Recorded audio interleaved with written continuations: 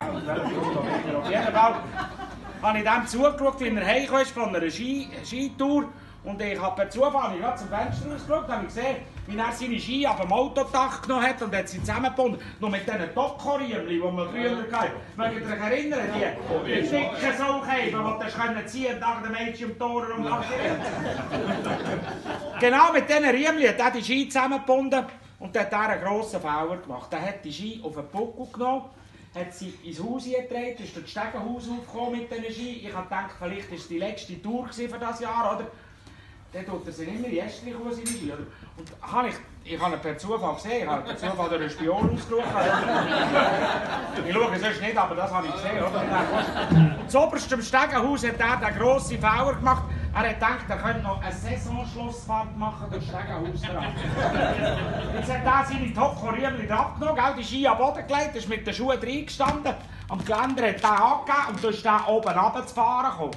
Ich habe, also, ja, ja, ja, gesehen, das ist die untere, gell? Immer schneller und schneller und schneller, auf Carving, weißt du, auf Carving-Ski.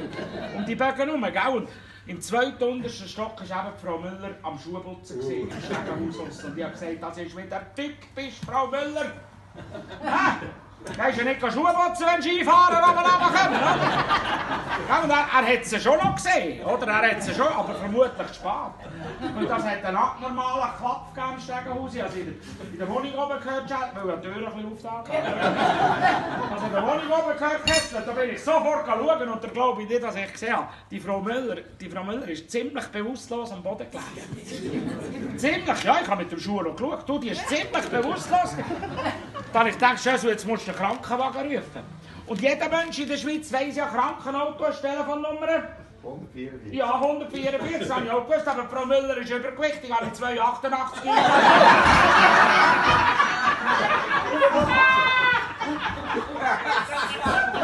Sie sind mit dem 3,5 Tonner abholen.